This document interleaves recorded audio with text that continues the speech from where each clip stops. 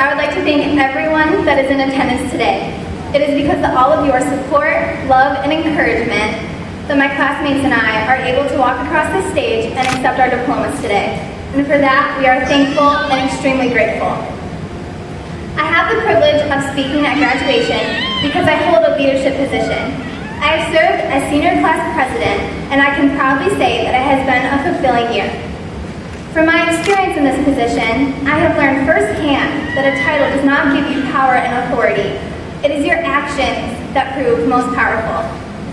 Throughout our lives, we have learned from some of the most influential leaders in the world.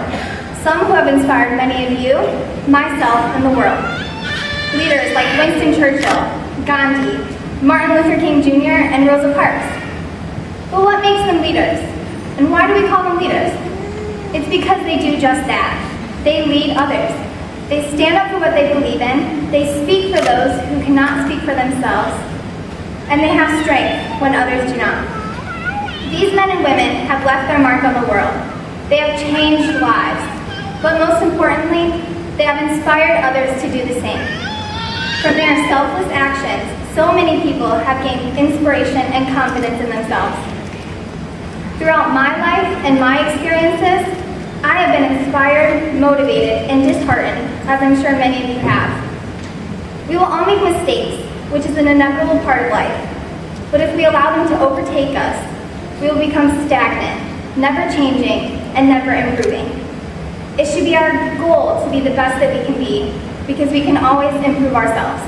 An innovative twist to this year's ceremony involves a combined speech from our valedictorian and salutatorian. At this time, I welcome friends and academic leaders, valedictorian Anna Snyder and salutatorian Brooke Peterson to the stage to give their address.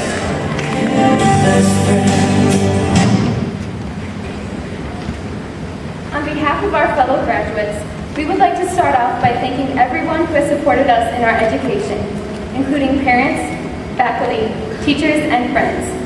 Please join with us in giving them a huge round of applause.